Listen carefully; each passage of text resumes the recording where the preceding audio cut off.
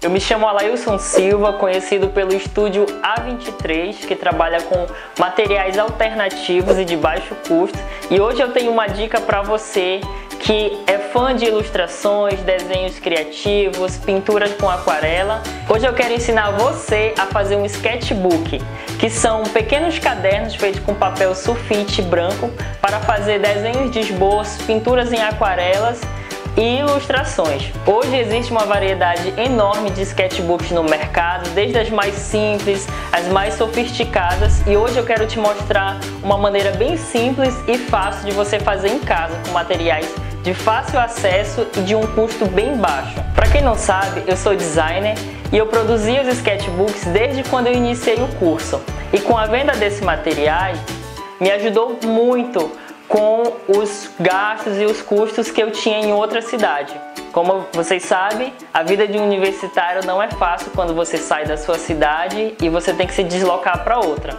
E justamente por isso, como essa ideia me ajudou muito, eu quero que ela ajude você, que também é universitário, está começando um sonho e uma nova carreira futuramente. Para os materiais, a gente vai usar o papel craft para fazer a capa do, do caderninho.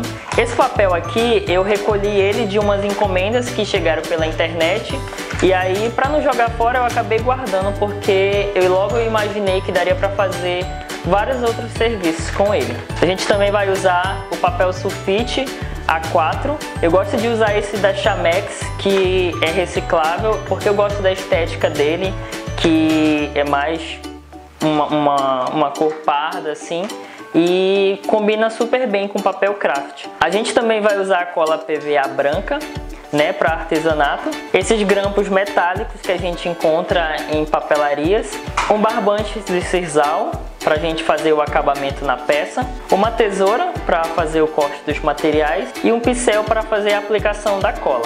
Galera, eu vou começar a pegar o papel sulfite e vou começar a dobrar ele no meio. Você vai fazer isso de acordo com a quantidade de folhas que você quer que seu caderno tenha. O meu eu vou fazer basicamente com 100 folhas, então eu vou dobrar 50 folhas sulfite dessa ao meio e vou juntar todas elas para poder fazer a colagem. Vocês podem ver que eu estou dobrando ao meio e depois que eu tiver dobrado todas as folhas, ele vai ficar assim. A gente vai dobrar todas as folhas, aqui tem 50 folhas dobradas ao meio, que no caso daria 100. E agora a gente vai fazer a colagem do miolo do, do caderninho. É, como eu falei para vocês, eu gosto de usar a cola PVA porque ela é bem densa e ela cola muito rápido. Você vai juntar toda a resma de papel e você vai aplicar apenas na costa da onde você dobrou o papel. Aqui. Lembrando que você tem que tomar cuidado para você não colar o lado errado. Eu gosto de aplicar com pincel porque a cola ela adere bem às, folhas e ela não vai correr o risco de ficar alguma soltando. Depois que você estiver colando, colado, você vem com os, os grampos que a gente apresentou logo no início e você vai prender todas as, as, resmas, as resmas. E vai ficar assim. Aí você coloca no sol para secar. Eu gosto de fazer durante o dia quando o sol está quente porque seca bem rápido e aí ela não vai correr o risco de ficar muito mole é, e quando você for utilizar para fazer a capa, é, ela não acabar saltando. A gente já tem um, um modelo pronto aqui, ela fica assim, ela fica bem juntinho e ela fica bem firme, todas as folhas. Esse então é o miolo que já está pronto. Agora eu vou ensinar vocês a fazerem as capas do, dos cadernos. Para fazer a capa a gente vai precisar de dois pedaços de papelões de acordo com a medida do papel que foi dobrado. Aqui eu coloquei o miolo do caderno bem no cantinho e eu deixei cerca de um centímetro passando para cada lado né? Que essa vai ser a margem de proteção do caderno, das folhas do caderninho. Também você vai precisar de um retângulo, que é onde vai ficar de costa aqui para o miolo do caderno. E esse, essa medida é de acordo com a quantidade de folhas que você quer que o seu caderno tenha. Ou seja, como o meu tem 50 folhas dobradas, eu fiz basicamente do mesmo tamanho, que é a parte que a gente vai colocar no meio entre os dois quadrados. Agora a gente vai pegar o papel craft e vai cortar ele um tamanho um pouco maior que os papéis.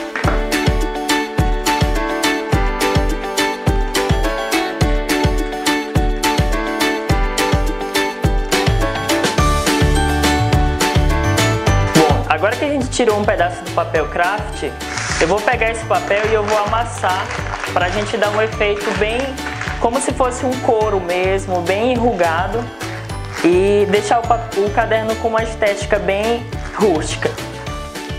Agora eu vou desamassar ele e eu vou aplicar ele na capa para vocês verem.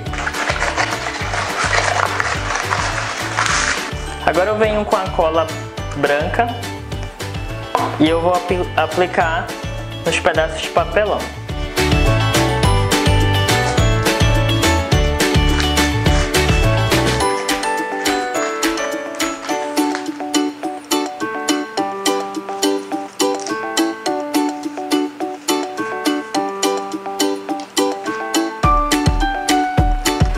Tiver colado as folhas de papelão, a gente vai acertar esse papel mais ou menos na medida de um dedo para a gente fazer o acabamento da capa.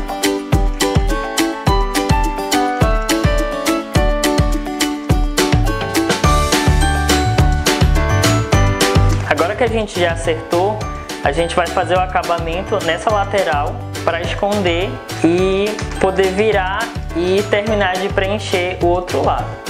Vou passar cola no papelão em todas as bordas e vou dobrar. Bom, já, a gente já tem uma capa pronta aqui e depois que a gente colou todas as laterais, a gente vai começar pela essa parte maior e a gente vai terminar nessa parte menor. Para fazer o acabamento e dar esse detalhe, a gente vai cortar as bordas, as pontas, quer dizer, vocês podem ver que ele vai encaixar certinho, dando um acabamento perfeito para a capa. Ó, ele vai ficar assim. As duas partes e a parte do meio, onde vai, a gente vai encaixar o miolo. A parte de fora ela vai ficar assim, bem enrugada. E a parte de dentro a gente vai preencher com outro pedaço de papel. Bom, depois você vai cortar um, um, mais um pedaço do papel craft e você vai colar nessa parte do meio até cobrir todo o papelão. Agora a gente vai encaixar essa parte aqui e vai pressionar até colar. Bom, agora que a gente já colou a parte de dentro, a gente vai voltar lá com o miolo que a gente iniciou e a gente vai colar uma faixa de papel craft em cima dessa, da onde a gente colou a, a costa do papel, só para reforçar e ele acaba não soltando. Vou passar uma cola aqui. Eu vou colar um pedaço de um lado e a gente vai dobrar e vai colar do outro lado. Vou demarcar aqui e a gente vai finalizar do outro lado. Esse pedaço de papel, ele é apenas para reforçar mais a, a cola das folhas e não soltar durante o uso. Ó, ele vai ficar assim. Agora que a nossa capa e o miolo já está pronto, a gente vai colar o miolo no caderno. Você vai escolher a costa do seu caderno, no caso eu escolhi essa por, por conta da falha do papel, e vou passar cola nessa página inteira. A gente vai fazer a dobra da capa e você vai colar o miolo do caderno em cima da dobra. Ó, dá pra ver? Aqui uma dobra, aqui a segunda dobra, que ela vai encaixar nessa parte do papel craft. Ó. É, lembrando que muita gente gosta de colar a costa do miolo do, do caderno nessa parte aqui do meio, mas é, como eu já, faz, já fazia nesse estilo, eu optei por colocar assim e eu sigo fazendo esse estilo até hoje. Agora a gente vai fazer o acabamento nessa peça. Lembrando que eu trouxe esse estilo de capa, mas vocês podem personalizar do jeito que vocês quiserem. Vocês podem, é, em vez de amassar o papel, vocês podem colocar ele liso e você fazer ilustração, você colar algum desenho que você gosta. Você pode usar a sua criatividade. Para finalizar, é, eu gosto muito de fazer um acabamento numa peça para que o cliente ele se encante, né? Principalmente pela embalagem, que é algo simples e bem feito. E eu sempre gosto de colar essa faixa no meio do caderno, até para prender ele, né? Ficar bem mais sofisticado, digamos assim. Aí nessa faixa você pode escrever uma dedicatória, pode escrever, fazer também alguma ilustração, você pode escrever o nome da pessoa que você vai dar, ou né, o caderno de presente, ou você pode usar ela apenas para fazer o acabamento. Depois que eu já colei essa faixa, eu vou vir com o sisal logo do início que eu mostrei. Vou colocar ele aqui retinho, vou virar e vou trançar ele aqui na costa. Você pode ver que eu vou puxar um para cada lado. A gente vai fazer como se fosse uma cruz. E vai voltar para frente do caderno de novo. Aí aqui agora você pode dar um laço e aparar os pedaços do barbante. E é isso, gente. Esse foi o nosso sketchbook. Esse mesmo modelo de caderno aqui, vocês podem ver que eu fiz ele aqui, só que o diferencial é que eu já passei uma tinta prata aqui, uma tinta acrílica. Nesse outro também é a mesma coisa, você pode ver que o acabamento, esse daqui eu usei um verde, inclusive usei uma das ilustrações que a gente já faz no estúdio também.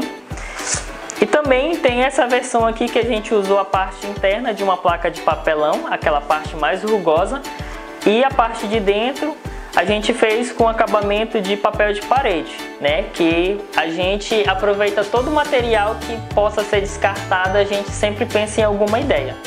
E essa daqui é uma, uma das variações das embalagens que a gente faz. Aqui tá uma, uma etiqueta com o logo do estúdio. E dessa forma você pode presentear os seus amigos, você pode inclusive enviar pelo, pelos correios. Bom galera, esse é o resultado do nosso tutorial. Espero que vocês tenham gostado dessas dicas. Logo mais eu vou publicar novas dicas também. Espero que vocês acompanhem e que vocês possam dar uma, um joinha nesse vídeo que eu sei que merece, né?